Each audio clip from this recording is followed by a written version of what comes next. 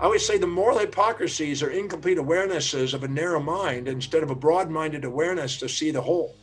And when you see the whole, there's something to be thankful for. When you don't, there's something to be judging.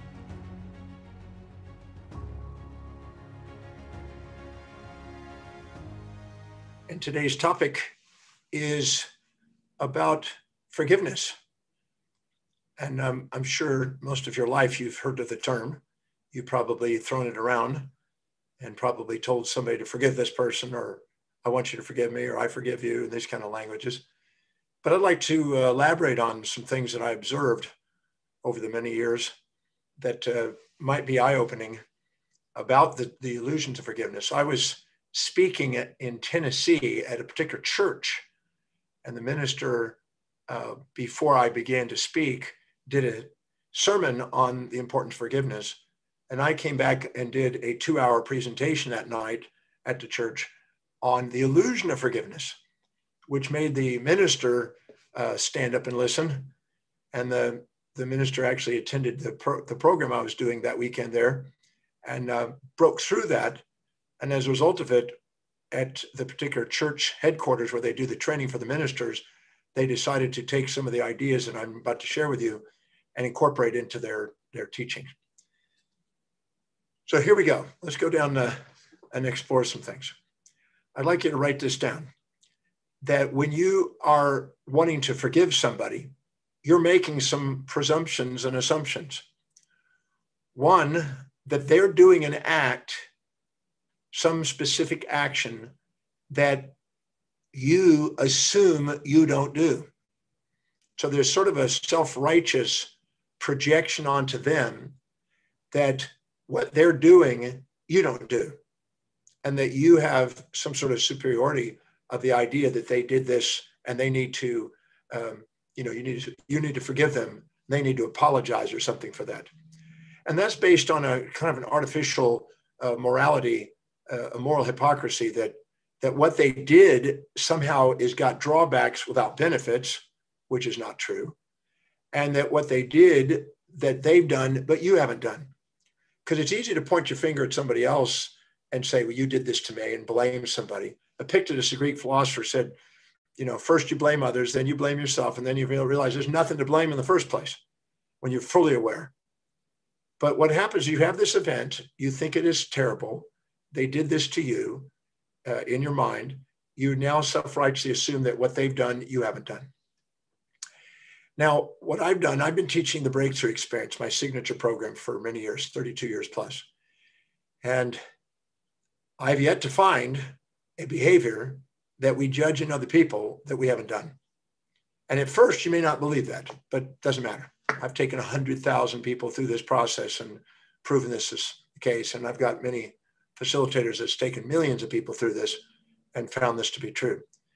So you only judge things in other people that represent a part of you that you're internally judging. If you resent something on the outside, it's reminding you of something you feel ashamed of on the inside.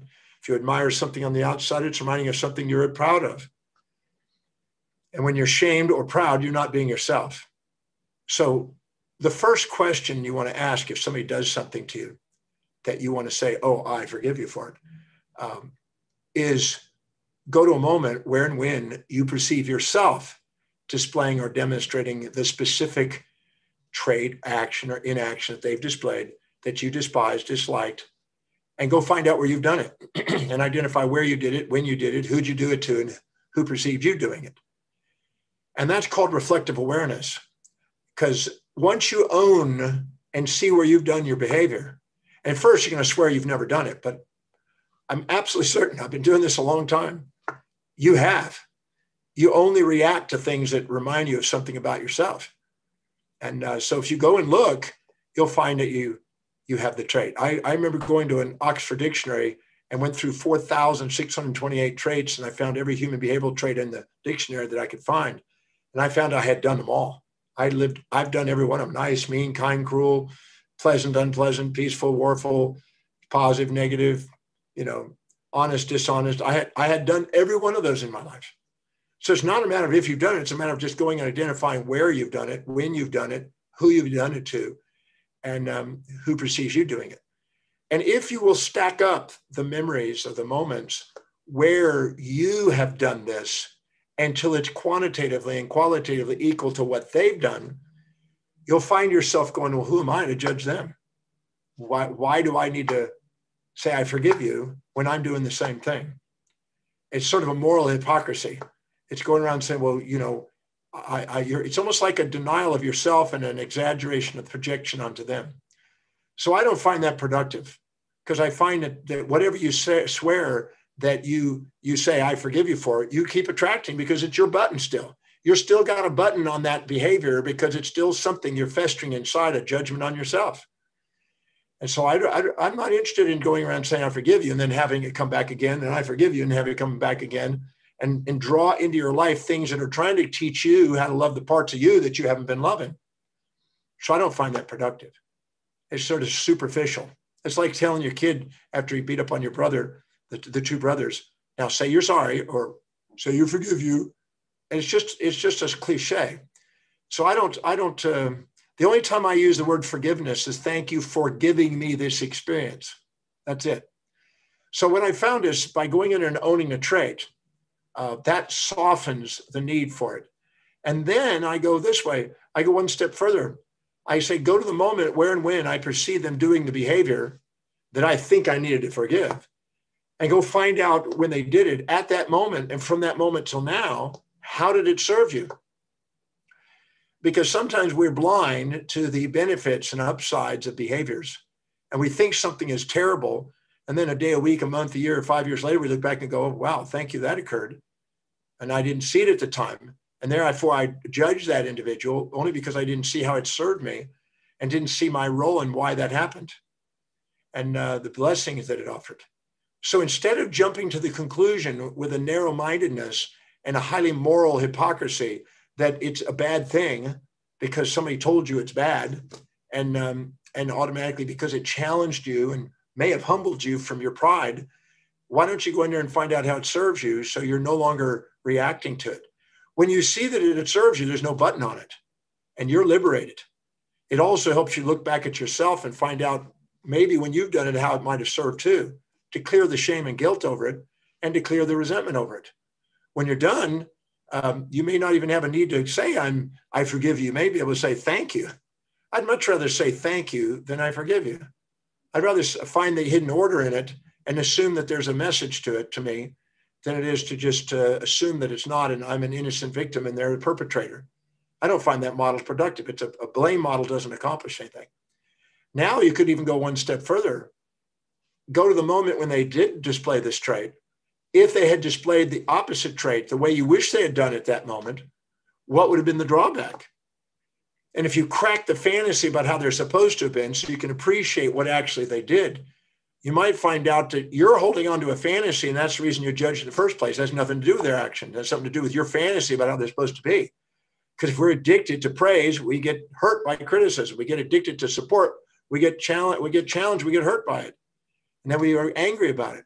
And sometimes we're immature and we're holding on to a fantasy of a one-sided world and not embracing the two sides of life, which we need to grow. Maximum growth and development occurs at the border of support and challenge. So we're addicted, addicted to support, challenge hurts. But if we understand that we need both support and challenge to grow, then the challenge doesn't hurt. There's nothing there except thank you. I find that whenever I'm getting criticized, it's because I'm somehow above equilibrium and I need a little humbleness. And when I'm getting lifted, it's because I'm a low below, below equilibrium. I'm being lifted. I'm a firm believer that whatever is going on in your life is trying to get you authentic. If you see life that way, you may find yourself being grateful for the events in your life instead of actually assuming that there's a mistake in the universe. Maybe there's not a mistake. Maybe when you project your values onto people and expect them to live in your values, you think there's mistakes, but they're not here to live in your values. And you're not here to hold on to fantasies. They're here to break those fantasies and those prides and humble it and get you back into authenticity. If you're proud or shamed, those are two facades and personas that are covering up the real you. But the real you is an authentic state of, of grace and love. So if you're in that state, there's nothing there to forgive. It's just something to be thankful for. Now, if you go in a step further and you find out uh, at that moment where have this where has this individual done the opposite in their life? Look at a moment, go to a moment where and when you perceive the same individual displaying the opposite trait to what you judged. And you'll find out that at times they're the opposite. And then you can't label them that way. And then you realize that there's when I'm doing things that support their values, they're one way. When I'm doing things that challenge their values, they're another way. And they're just a human being, an individual with both sides, like I am. And then I, when I go in there and I, I dig for that, I, I find out that they're just human beings. And I, who am I to judge them? Who am I to, to judge them and, and, and, uh, and forgive them? Or who, am, who are they to have to apologize to you? Uh, you know, we can easily cliche things and say, oh, I'm sorry. Okay, I forgive you. But whatever you say you forgive, you typically keep attracting. It's like the husband who comes home late. He's got a value on building his business and sustaining his income and she has a value on making sure that the food is on the table and or, or or maybe it's the other way around. Maybe the man's doing that at home and the woman's working. Today you never know with gender it could be a complete spectrum. But whatever it is somebody may have a value on being home and cooking and another person may be at home uh, working there at working and making income. Whatever it may be uh, if that person has a value in business and they come home late because they're, they're trying to solve their business and they come home and this person's upset with them and says, uh, you know, apologize to me, you're late, and okay, I forgive you. It's just, it's it, what it is is it's immaturity, in my opinion, because it's basically saying that that you're supposed to be living in my values, which is the cooking, and you're not supposed to be living in your values, which is the working. And that's a superiority inferior. And if he says I'm apologizing, he's subordinating to your values. And if you say I forgive you, that means you're projecting your values onto him. I don't find that productive. I don't promote that. I think it's antiquated. I, would rather respect each other and level the playing field and understand that that individual made the decisions based on their values and they're not here to live in your values and you're not here to live in their values. And you're not here to project your values onto them because that undermines the relationship. Anytime you project your values onto them and expect them to live in your values or they inject the values of you into them and they try to live in your values it's a matter of resentment coming. And so i don't find that productive. I find that respecting somebody for their own individual values is much wiser so I'm not a promoter of that. I, I don't go around, you know, forgiving people for things. I'd rather be accountable for my perceptions and realize I'm drawing pe- these things into my life for a reason as a lesson, and it's my stuff. I'm, they're not responsible for how I feel. They're responsible for what they did, but not how I feel. And how I feel about it is my perception and my accountability. So if I go and find out what is that they've done, where I've done it, and own it 100%, and realize I'm not any different than them, find out how it served me until I'm grateful. Uh, find out if they had done the opposite and break the fantasy of how they should have been. Find out where they've done the opposite, where I don't put a label on them. And then find out at the exact moment they did what they did, who is doing the opposite, because there's always a pair of opposites in life. When you do, you realize there's nothing there except thank you. And I'd much rather go through life and being thankful to somebody than to say, I forgive you and have it keep showing up again. Because anything you say you forgive is stored in your subconscious mind and you're wounded by it and it's basically assume that there's some sort of you know down without an up and you're you're storing that and if it happens again you're angry again and you're going why are you doing it again? And i don't, I don't find that very productive. I, now when some people say well forgiveness means to release it but anything you judge that you still store morally as a white a good or a bad or a right or wrong or whatever doesn't go away from your mind. I've, I've been doing this studying human behavior a long time. You don't let that go you only let it go if it's balanced. Anything that you infatuate with, that you are conscious of the upsides and unconscious of the downsides, occupy space and time in your mind as long as you have that perception. And it will stay in your mind for days, weeks, months, years, decades. I've seen people upset or pleased with a fantasy for decades.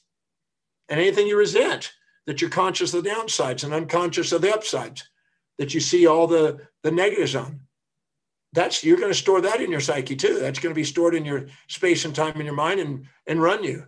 And therefore you're going to be frightened about it. You create an instinct away from things that you see downsides more, and you have an impulse towards, and you're like an automaton reacting, avoiding and seeking, and you're basically reacting. And that's why forgiveness is based on a moral construct that that what they did is morally bad and there's no benefits in it. Uh, and if you're saying apologize, that means you did something you think has got no no upsides, and they've they've never done it. And I just find that that's not complete awareness. And why would I want to promote something that's not complete awareness? Just because of moral hypocrisy that people are trapped in about how people are supposed to be. When my observation that human beings have every trait, My observation is that if you look really carefully, if I said to you, um, sometimes you're nice, sometimes you're mean, sometimes you're kind, sometimes you're cruel, you would make go, yep. But if I said you're always nice, never mean, always kind, never cruel, you would go, mm, nope. So why promote a fantasy about how people are supposed to be? I don't think that's productive. I know that that's exactly what uh, Christians and Jews and, and Islamic followers and various religious people like to promote, but I don't find it to be true. So I'm just going to be able to share that right now. So, so I've been doing the breakthrough experience for you know 32 years plus, and I've had people come into the the programs with a lot of resentment about certain things in their life, and um, when they come in, they're they're they're even they're so raged and upset sometimes it's like crazy. And then when they go out they realize there's nothing there except thank you. And all i did is ask them a series of questions. The quality of your life is based on the quality of the questions you ask.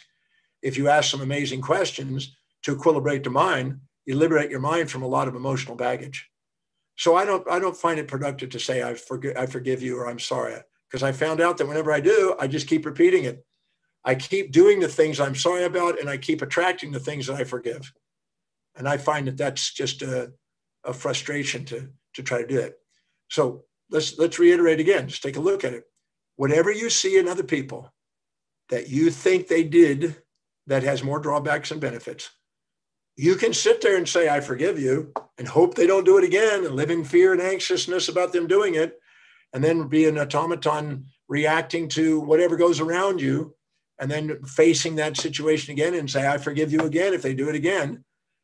Or you can actually go and own the trait 100% and um, humble yourself and then go find out how it served you until you're grateful. And then go find out how, if they've been the opposite, uh, what would the drawback to crack the fantasy about how life's supposed to be? Because most of the problems that we face in life are the comparison of our current reality to a fantasy we're addicted to. Uh, we're addicted to the idea that everybody's supposed to be nice, not mean, kind, not cruel. I mean, listen to I remember my grandmother's just saying, now be nice, don't be mean, be kind, don't be cruel, be positive, don't be negative, be generous, don't be stingy, right? Be peaceful, don't be wrathful. And then five seconds later, she'd go and yell and scream and, and bitch and demand from grandpa. and we were like going, wait a minute now, we're told one thing and it's, it's hypocrisy. I have no interest in immoral hypocrisies. I find the people who, are most adamant about it are usually the people that live in a, in a complete um, hypocrisy. So I'm not going to promote that. I don't find that productive. I'd rather go and be accountable. That way, the world doesn't run you, and you're not waiting to run, make the world fit into the way it should be. You're able to embrace the world as it is.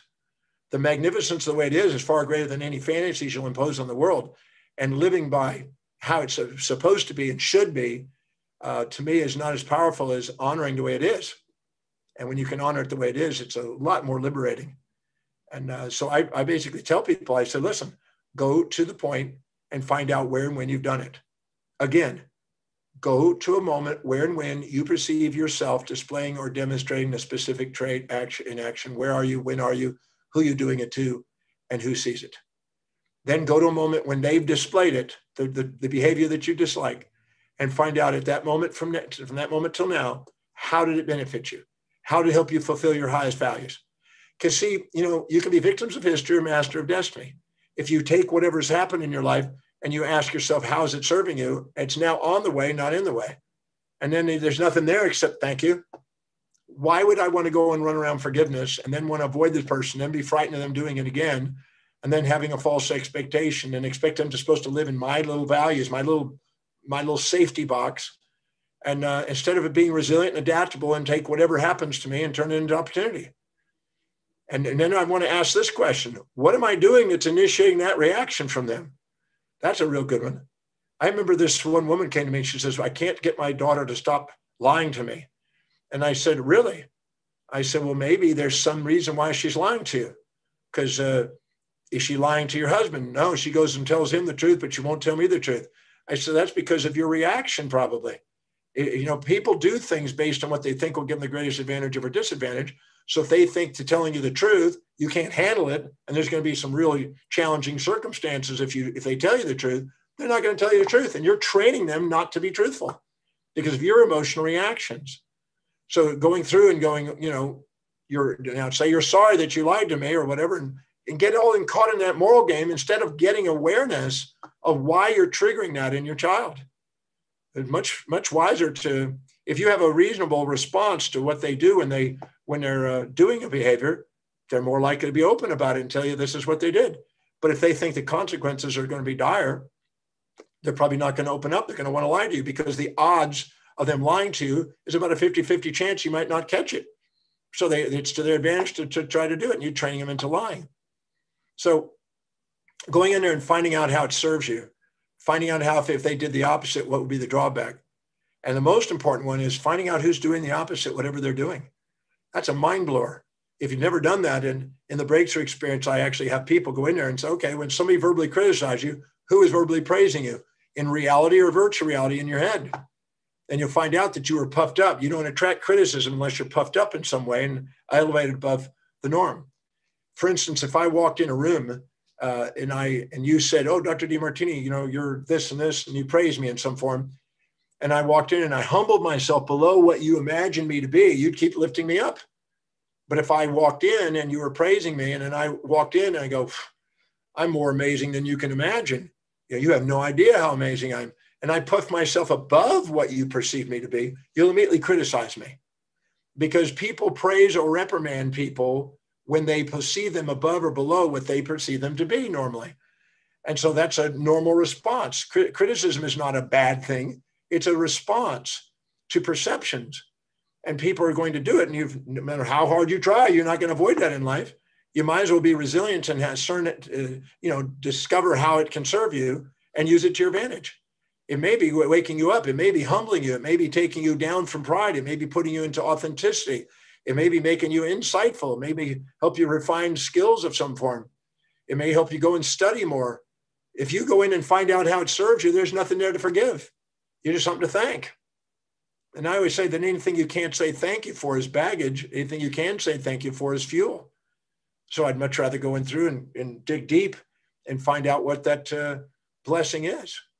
So if you go in there and you you do that, you'll find out that there's thank you in the breakthrough experience, like I said, we have people from all different walks of life, all different ages that have some sort of a major infatuation with somebody or major resentment with somebody. And we show them how to neutralize that so it's not running their life. Because fantasies of people you infatuate with, you can minimize yourself to and lose your identity and lose your authenticity, or people you resent and you go into pride and put on a persona and live in anxiety about them being around and go around and think they need forgiveness and, and think they need to apologize and get trapped in all that emotional drama. I have no interest in that drama. If you want to live in drama and you want to live in, in uh, compassion for people that are suffering and all that other stuff, that's just, that's not mastery of life. That's for the masses. That's for people that don't want to be accountable for their life and don't want to master their, their perceptions. I have no interest in that. Uh, if you want to go that route, that's fine. But if you want to master your life, it's about owning accountable perceptions and realize that uh, it has nothing to do out there with what's happening with your life, with everything to do with how you perceive it. How you perceive, what you decide to do it, and how you act upon it is where you have control over. You only have control over perception, decisions, and actions. And so if you go and balance out your perceptions, you'll have a loving uh, decision and action, and you'll be grateful. and when you do, you don't have a bunch of baggage. Actually, every time you're in a state of gratitude, you store that experience in your superconscious mind, which is more light and more expanding. And uh, every time you judge something and you're you're in this idea of blame game and shame game or whatever, um, you store that in your subconscious mind and you weigh yourself down. And you, those things will keep running your life until you finally liberate yourself by loving them. So why have the wisdom of the ages without the with the aging process when you can have it without it? Why not go and dig and ask questions? The quality of your life is basically the quality of the questions you ask. And if you ask questions that help you balance your perception, there's nothing there to forgive. There's nothing to say you're sorry about. I remember Jim Paulsky many years ago wrote a book, Love is Not Having to Say You're Sorry, kind of thing. At, the, at first, I was going, oh, that's interesting. But now I understand it fully. Uh, when you actually get to a point where you see the whole picture, not just the moral. I always say the moral hypocrisies are incomplete awarenesses of a narrow mind instead of a broad minded awareness to see the whole. And when you see the whole, there's something to be thankful for. When you don't, there's something to be judging. And remember, when you're infatuated with somebody, you're conscious of the upsides, unconscious of the downside. That's a judgment. When you're resentful to something, you're conscious of the downside, unconscious of the upsides. But when you're conscious of both sides, you're thankful and you feel love. And there's nothing to forgive and nothing to say you're sorry about. There's just something to be appreciative of. And then you appreciate and value. You help them appreciate and value and move forward in life. Anything that you can't say thank you for is baggage. You tell me how you want to live. So that was my special little message today is to understand that maybe there's an alternative to the idea of forgiveness, unless you say, thank you for giving me this experience. That's the only time I use the word forgiveness. I don't uh, go around and forgive people. And I don't find that productive. I think that's childish. And I, I don't go, I'm sorry, I'm sorry. I, I, I see sometimes parents do that. Now say to your brother, you're sorry, and say you forgive him. And, then, and they're both going, uh, we're just having a normal fight, mom. This is not a big deal. This is your stuff. and uh, yeah, it's nice. It's nice social cliches. It's nice to, it makes people think that that's somehow resolved. But I find that uh, the people that say they're, I forgive you, they still harbor the idea that there was something there to forgive in the first place. When people come to the breakthrough experience and I ask them to pick out something that they might resent in their life to, to work on, to clear, they go, No, I don't have any resentment. I forgave them for all that stuff. Okay, what did you forgive them for? Well, that they, you know, verbally criticized me when I was a child. Okay, well, obviously, if they did it again right now, what would that be like? Well, I wouldn't want that. I said, Well, then you're still resenting it. Hmm, good point. Forgiveness is superficial, it's just a cover up for what's really still stored inside. So I'm not going to promote that. True love and appreciation doesn't require those terminologies. And I'm certain about that. I've been doing this a long time. And, and if you would like to learn how to do that, come to the Breakthrough Experience. I'll make you go through the process and see for yourself how true this principle is and get to a point where there's nothing there except thank you, I love you. To me, anything less than thank you, I love you is not complete. No therapy is ever complete until cause equals effect in space time. As long as you separate cause, they did this to me and I'm the effect, and never realize that you're the, the cause of it is your own perception of it. Not what they did, but your perception of it. And you change your perception of it, then what they did doesn't really matter.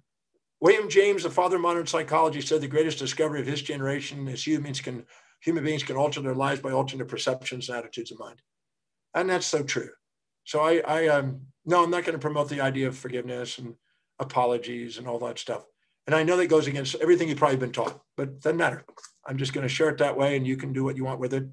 And if you'd like to learn what I mean by that and how profound it is to actually get to a point of thank you, I love you for the events in your life. So you're not carrying baggage around and running your life as a wounded victim of history and want to be a master of destiny. Come and join me at the Breakthrough Experience. Let me actually make you do it and hold you accountable and let you experience it firsthand I guarantee your life will never be the same because you won't see life through the same eyes anymore. It's over with. The victim thinking, you know, that's all that's taught on television the victim mentality, the perpetrator, innocent victim mentality. No, that's not complete. I, am not going to promote that in psychology. It's antiquated. It's it's there for the masses that want to blame and keeps the, the psychologists in business, but it's not the truth about life and it's not the thing that empowers people to do something extraordinary with their life. So I'm not going to promote it. So you can do what you want with that. But I, uh, anyway, I just want to share that just in case that was an eye opener. And also, if you'd like to balance those emotions for greater achievement, because, because if you're infatuated with somebody and then they let you down, you're going to resent it. And if you're resentful to somebody and you want to, you're going to forgive them, all that is imbalanced emotional states. So I have a special master class on how to balance the emotions for greater achievement because you're going to be weighed down by all those emotions and they're going to keep haunting you. And you can liberate yourself by transcending them, by seeing both sides. Just by asking questions you don't do. Your intuition's constantly trying to do it, but you shut it down with your impulses and instincts, your animal nature instead of your angelic nature, your real executive function.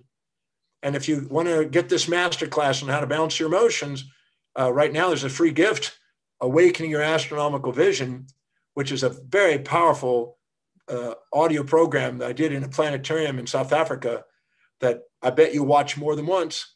Uh, it's a mind blower. It's about how to expand your vision to do something extraordinary with your life. And the bigger, the broader the vision, and the less narrow minded you are, the less probable you'll be sitting there and I forgive yous and I'm sorry. Because you got too much. Why caught in trivia when you got something massive to go do? You know, if you're if you're inspired by a vision, you don't have time for trivia. You got too much going on. And So if you want to go and play a bigger game and want to have balanced your emotions and have on greater achievement, take advantage of this uh, master class and get the free gift. Might as well take advantage of it. And uh, contemplate what I said about forgiveness and apologies.